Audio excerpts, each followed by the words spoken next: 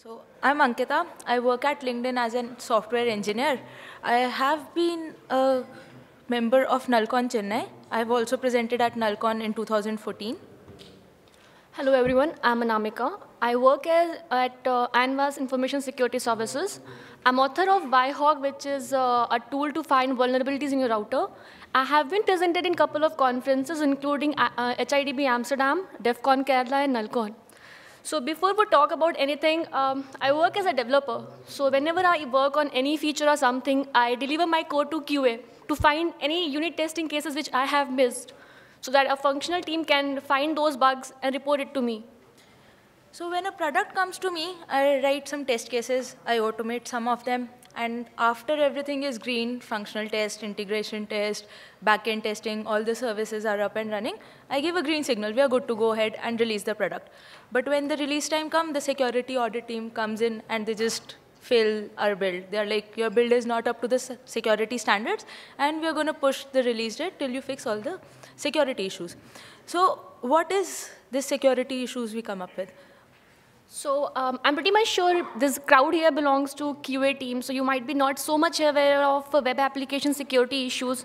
So I'll give you a quick intro uh, what are the web security issues are so that you understand what we are exactly talking about here. If we talk about web application, we all know web application are very crucial part of our life nowadays, just like oxygen. We, for banking, shopping, everything we need web applications. And if your web, web application is not secure and safe enough, you, you, you know, these breaches can lead to theft of data, malware infections, loss of consumer confidence. If we talk about loss of consumer confidence, you might have heard about the exploitation in iCloud, which exposed all the private photos of all the Hollywood stars. Same way, uh, failure to meet some requirements, because whenever you develop any application or any product, you have certain security requirements that your product should meet to such requirements. Sometimes during development phase, you miss it, and when your product goes to live, then a bug, bounty, bug bounty hunter reports it to you, then your company has to pay a huge amount to them. Next is, uh, again, since you pay them a huge amount, your application is compromised. And if we talk about certain surveys, they say out of 10, 8 sites are vulnerable. So what are the attacks which takes place on your web applications? Very first is, and major is SQL injection. SQL injection is nothing but trying to insert some SQL commands from your web UI Another one is XSS, known as cross-site scripting. Third is denial of services, code execution, CSRF, and many more. I wish I could have explained you everything over here, but since it's a Selenium-based conference, and the aim here is if you don't know anything about any these kind of attacks, still, how are you making your application secure with your functional test cases? Uh, most of us use okay, we have provided a securely tied password to our application, so our applications or any email account is very well secure. But that is not true. Recently, you have noticed that on LinkedIn, uh, all the username and password got uh, published on the web applications, and it has all the details of the username and passwords, and this whole database was some, somewhere around, I guess, 100 to 80 GB, which contained all the information about the LinkedIn users. Sorry? The question here is how will you protect your web applications from these uh, attacks? Ideally, what an enterprise follows is they hire some uh, security auditor because maintaining a security auditor in the company is really expensive. So what generally companies do, they maintain a very small pen testing team into their company, which works on finding bugs on a platform. But majorly, they hire once in a while some expert security auditor, which tries to find bug, uh, bugs into their application. But this is expensive and time consuming as well. There is a certain scenarios where you are not comfortable sharing your company's confidential data with some external security auditor as well. The second approach is using automated web security scanners. Uh, we know that there are so many scanners available in the market. Some are commercial, some are open source. What actually scanner does, this is basically a set of programs which interacts with your web application and try to find some inject points where it can insert some payloads.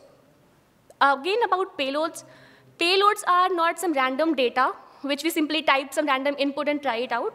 For certain type of vulnerabilities I have explained before, there are a set of defined payloads.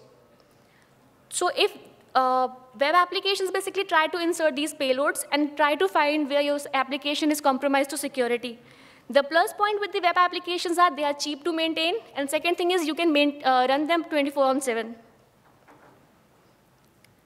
So as I told you how this scanner works and how easy it is to maintain in your organization, again, about scanners, there are plenty of scanners, and they have their own algorithm, their own analysis, and their own payloads. Since payloads are really uh, huge in numbers, because for example, if you want to find SQL injections, there are not only 10 or 15 payloads to find SQL injection, there are possibly hundreds of payloads defined for SQL injection itself. So it is not easy for each scanner to include, include all the possible payloads because it uh, makes your payloads heavy. So when it tries to crawl to a web application, it becomes slow. And the, mm, I must say, the worst part with the human is they don't want to wait. So you definitely want immediate results with your scanning reports. There is also a passive approach, like whenever any request or responses comes and goes, it observes your uh, requests and responses and their corresponding results. Uh, web applications are also 100% not the solution of what we think of, that some integrating something with final sec uh, functional security with the security testing. At the end, these web applications are made for us, not for some automated scanners which put, uh, give some random data and tries to click on all possible links and buttons. And uh, for the sake of security, uh, these are the major scenario where human intervention is needed. If you're creating an uh, email account, you provide alternate, alternate email ID and get a confirmation mail. If you deal with the banking sectors, you get uh, OTP. And in some real-time scenario, you have to provide CAPTCHA. CAPTCHA is the word which you see in the login page. So these, all these things comes up with the session ID. So these things have a particular sessions and CSRF tokens. Based on that, your authentication gets done. So these are the changes you fail when you try to automate such some real-time scenarios, which is automated login, infinite websites, and in some pages where your website is really huge with the web JavaScript pages, so in these, these cases, your web application scanner fails. So I mean, like the, the from where we started to find the fix for our problem, we have not the exactly fix. So how can we solve all these problems which is coming with the automated web scanners? The very first thing is, when we talk about the crawler, crawler here I means web security scanners, sometimes they really crawl a lot your websites, which is not needed as per your requirement. Sometimes they don't crawl enough to find the security issues in your applications, which is again, in that case is what happens, crawler basically puts some random data, some random uh, clicks, he doesn't know the exact flow. If you want to test the login page, it doesn't know that he has to provide some valid input uh, username, password, and click on the login button. It generally provides some random username, random ID, and click any random uh, button on, available on the page. But if, what if we provide these inputs to our scanner? Okay, this will be the user ID, this will be the password, and as per the flow, after providing password, you have to click on this login button. This solves uh, one problem. It means your crawler is now uh, crawling your site as per your requirement. But so, uh, consider a scenario where you have uh, thousands of test cases. Providing manual value for these 1,000 test cases is not easy, easy. And from point of maintaining it, it becomes uh, difficult. So the whole point, like making your functional testing in form of automation is not received. So it's again time consuming and inefficient. Better approach we think of is every team uses functional test cases into their company to validate any product and every enterprise has some framework to find it out, okay, this is the framework we use. And the majorly nowadays, people use Selenium and Cucumber. So we targeted Selenium as per our need.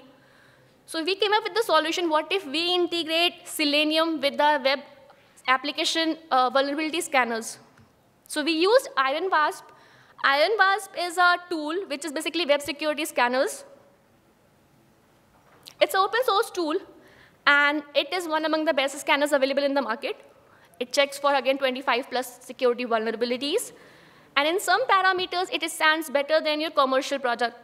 It's not the statement given by me. If we talk about the security industry, there is a site maintained by, okay, I'm missing his name, but the site name is SecToolMarkets. So what this guy does, whatever the security tools are available in the market, he picks up all these tools, compare them in terms of their functionalities and their results, and generates the reports. So as per this reports, IronWasp stands at the better position than some pro commercial products. And here is the result which we expected in the beginning itself. We have valid inputs for our scanners now. It follows the correct flow at what, but after what input you are supposed to click where and how to follow it. And in terms of cost and time, it is effective to our team and every company. Okay. Uh, so this process of grouping together a series of steps and putting together in a flow and then scanning them is called as workflow scanning. It is, an, it is a scan where a step-by-step -step procedure is followed. So if you're doing a login functionality and you're running it around 1,000 times, then every time a login functionality is performed. So every time a new CSRF token is generated, which is not duplicated. So the problem where we cannot do a scan on HTTPS and secure sites, it's solved using workflow scanning. So let me give you a brief about IronWasp, a demo, so that it you guys have a better understanding on how we can integrate it with our functional test cases. So IronWasp interface looks like that all scanners work on one principle. They fix themselves to a port, they attach themselves, and they start listening to that. Once they start listening to the port, all the traffic that is passed through the port, they record it. Once all the traffic is recorded, they inject different payloads and find different vulnerabilities in it. Uh, so we got to set IronWasp as a system proxy. Once we set system proxy, here you can see in logs, we don't have any log. Now, if I open any site, there's, I hosted a site on my local server. So once I open it, and I've set IronWasp as a system proxy, all my logs should have been captured. So if I go to IronWasp, earlier there were no logs. Now I can see two logs. In these logs, the request, response, headers, and all have been captured. So, our, so uh, if we can capture the logs which are which a browser sends, we can perform a security audit. And our functional test cases do that. They run something on a browser, and if we can capture all that data, we can do a security scan. So this is a very basic, uh, this is a very basic functionality of IronWasp. So a simple functional test library which acts as a bridge between IronWasp and our functional test case. So IronWasp won't know when a test case starts or ends or where it has to listen to. Similarly, our functional test suite won't know how to call IronWasp, where IronWasp, on which port IronWasp is listening. So we came up with this library, and it is in a jar format, so we add it to our build path, compile it, and all the classes are available to use. Apart from this, we need to tell our test cases on which port IronWasp is listening. So that can be configured by us, and if we have some, the default port is 8080, and if we have some app running on 8080, we can set another port, and we can configure which IP and port IronWasp will listen to. After this, we are good to go. So let us see, uh, yeah, one more thing. So our normal browsers won't direct to that port. So every browser has an option of setting a proxy from which it will redirect all the traffic. While creating a Firefox profile, we can set a proxy, and in the proxy, I've, uh, I've given IronWasp IP address and port address. Once this is done, all the traffic this driver, uh, the, the object of this driver will run, it will be logged in IronWasp. So this is how a typical IronWasp test, integrated test look. We didn't do much change. In the start of the test, I called IronWasp to tell that our workflow has started, so you start recording all the logs. Then I created my custom driver, which would redirect all the traffic to IronWasp. Then I did my particular steps, which were earlier also there. And in the end of the test case, I told IronWasp, stop. This is my one flow. It has these many steps, and these steps are a part of a workflow. We need to perform a workflow scanning on them. So let us see how this is done. Yeah, sure. yes, you can run on the same machine, you can run on a different machine. We have given IP and a port number. So if you are on a network, you can have IronWasp running on your remote machine, and you can give the IP and port number of that machine, and your tests are local on your local. So you, you can run them. So.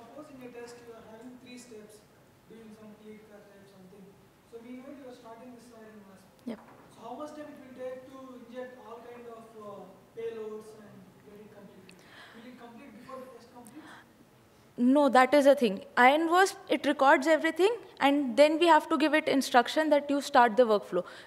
If your, uh, suppose your request has some 10 queries, 10 payloads, and every payload IronWasp has to inject some 10,000 values.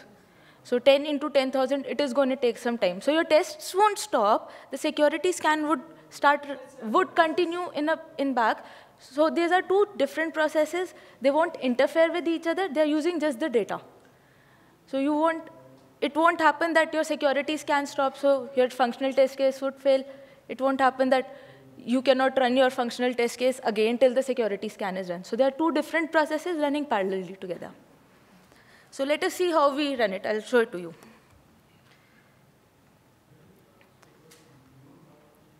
So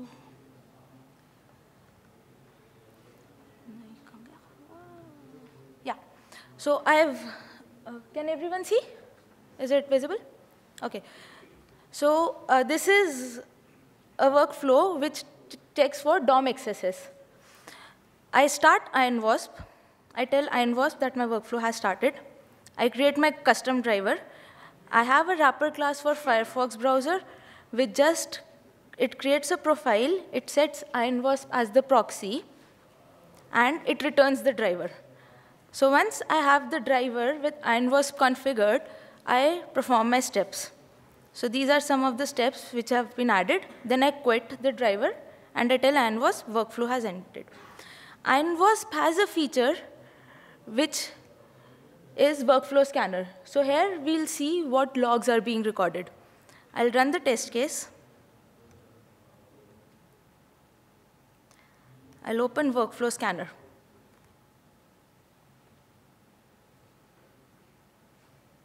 My browser has started. It has identified the IP. It has identified which logs, which logs are being recorded, and then it also records the workflow name. So it is easier to identify that these logs belong to this workflow if we have given the name to it.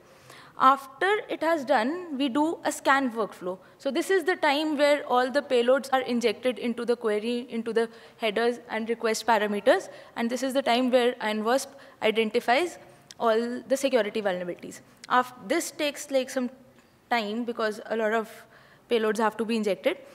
After this, a report is generated. A report, typical report looks like this. So this report not only lists down the vulnerabilities found, it also tells for each vulnerability found what was the vulnerability, what was its severity, what payloads were sent, and how do we fix it. So it is very easy for the developers to fix the bug now if they've got so much insight into the vulnerability. It is very easy, and it is very understandable. Any one of us who doesn't know the jargons of security language can understand this report and fix it. So this is, now we have converted our one test case into an IronWasp integrated test case, or you can say a security test case. Now, most of us, we don't have just one test case. We have like thousands, 50,000, some of us have 50,000 test case. When we have a large repository of test case, we are definitely using some architecture or some framework to control them. Most commonly used is Java with TestNG or JUnit. The best advantage with TestNG and JUnit is you have these wrapper class, you have these annotations which control how the test case run.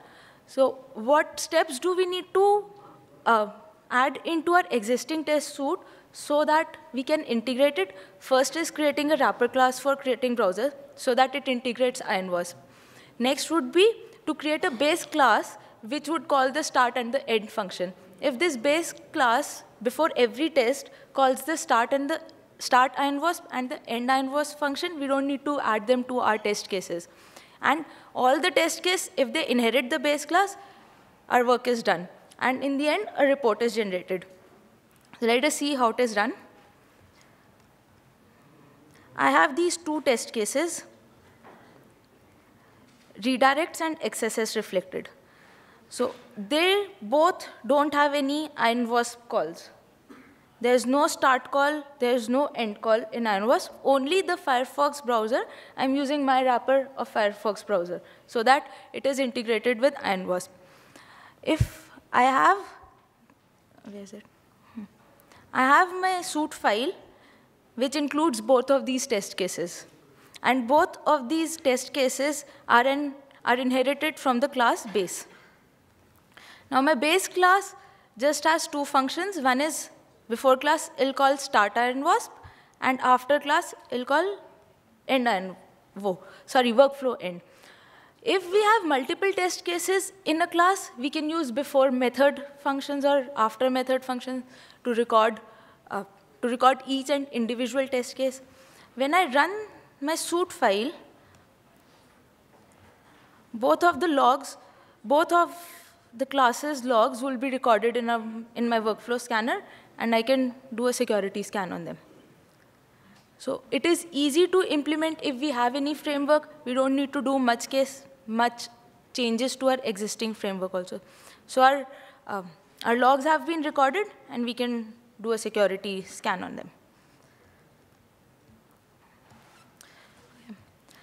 Why should we do this? Okay, we've got a tool, we've got some libraries. Why do we need to change our existing test cases? First thing is, all of us cannot do a security check. Though we would like to do, it is interesting, and there are places where we've been questioned, why didn't you check this security flaw? How would we do? We, it is such a big topic. It is, there is so much of knowledge needed to do a security scan, we just cannot.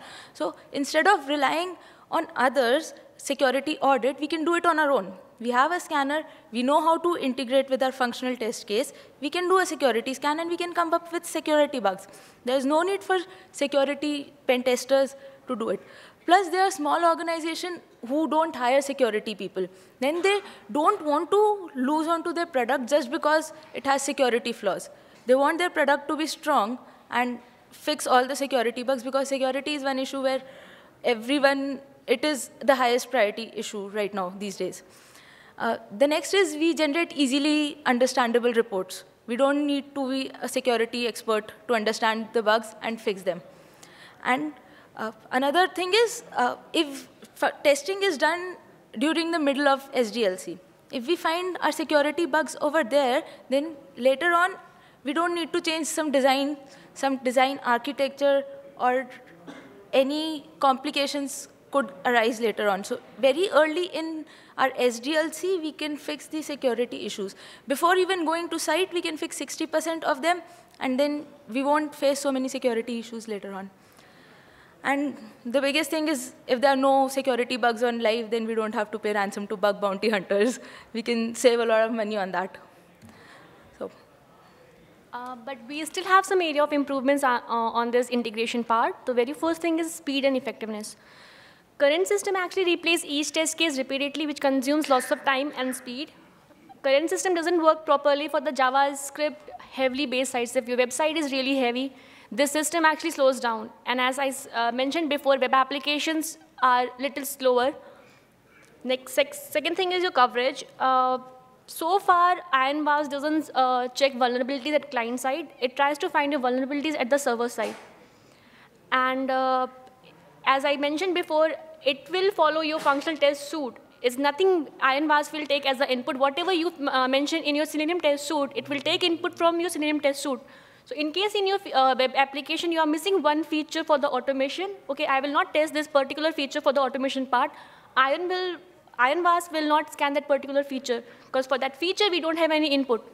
So whatever we scan is based on the input you provide into your Selenium. Another thing is reporting. Whenever any bug is created, uh, generally we uh, automate this bug into any bug tracker like Jira, for Greek, or Zoho bug tracker and anything. Currently, we don't update, these bugs into a bug tracker, but um, yeah, we are working on these things. So uh, some parts in management that the IronWasp app needs to be started before we run our test suite. It won't automatically start up as soon as it as tests are running. Sometimes the crawler crashes because the website is too heavy or it's a very JavaScript-centric website. If a crawler crashes and was doesn't report it to us, we have to manually find and restart the crawler. Then uh, if a bug, we found a bug using this system, we fix it. then the next time, how do we verify the bug is fixed? IronWasp doesn't give this functionality. We have to compare two reports, whether a bug was found in report one, or, and if it's fixed, it shouldn't be found in report two. We do not currently handle parallel functional tests and requests from multiple users. We are currently working on those features, and IronWasp doesn't automatically detect whether a workflow has started or ended. We need to specify calls to tell IronWasp a workflow has started and ended. It doesn't automatically pick up this is the start, this is the end. And we need to uh, set proxy. IronWasp doesn't listen on all ports. It listens on only one port. We need to set that. And we need to make our browser uh, compatible and uh, configure our browser so that they uh, send data to that port.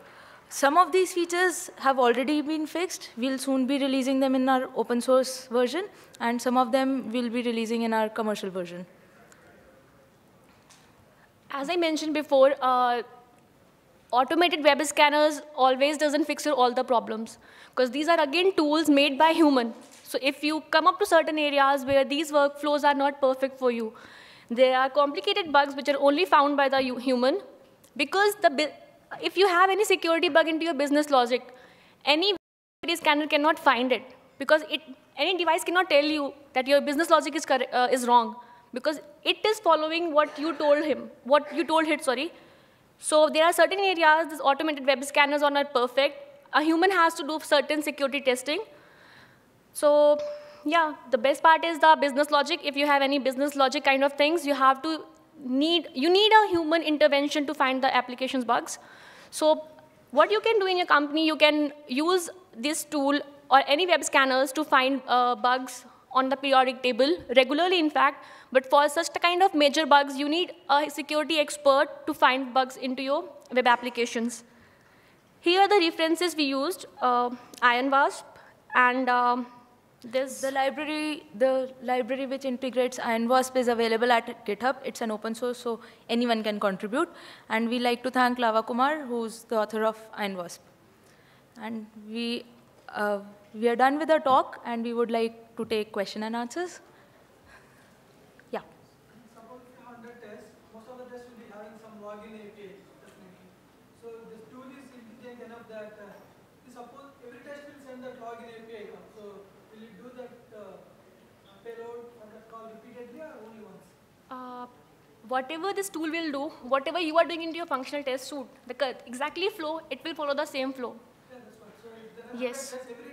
Yes, yes, yes. Yes.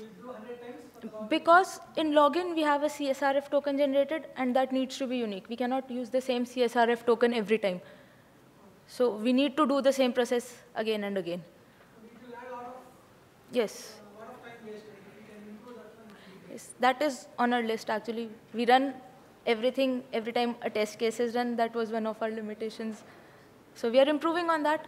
We are uh, we are going toward different measures on how to uh, how to run the test, how to record how to record the logs. We've pretty much covered that. How to uh, run scanning on them efficiently. We are exploring different options.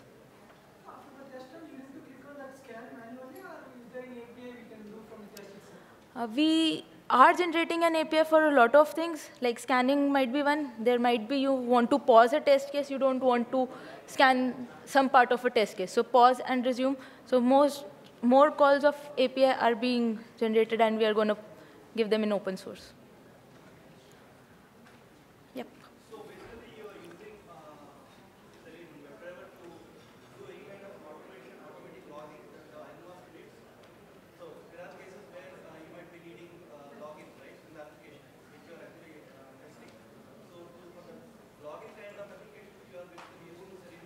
No, login, uh, you, Selenium we are using to send data to IronWasp.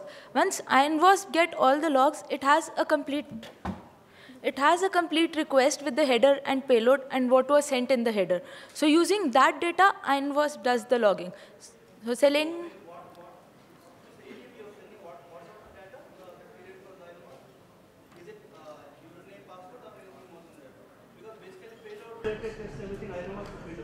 Yeah. Selenium is exactly trying to do here? Selenium is...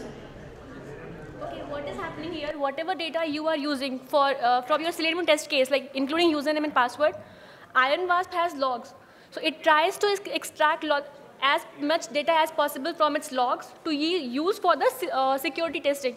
So we get this username and password from your functional testing logs. We use security payloads from the IronWasp, and we combine these two values and check for the security testing. So,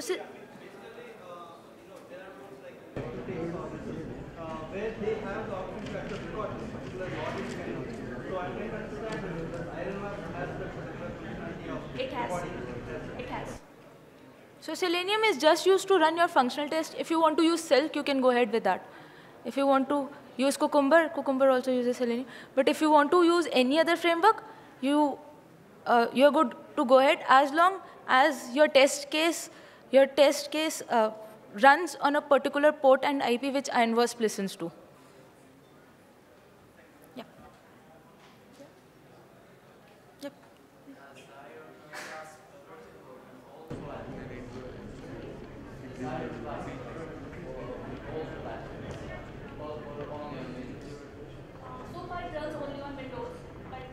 No, we run on Linux also and Mac also.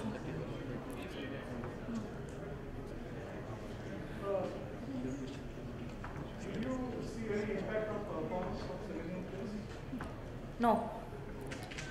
Because uh, there are some issues that uh, some sites, they don't allow proxies.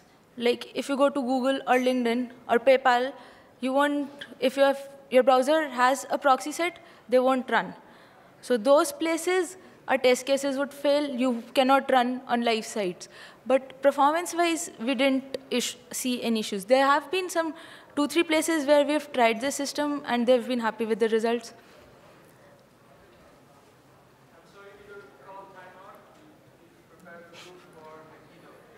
Thank you so much. Okay, so we'll be available here if anyone has any more questions. Thank you.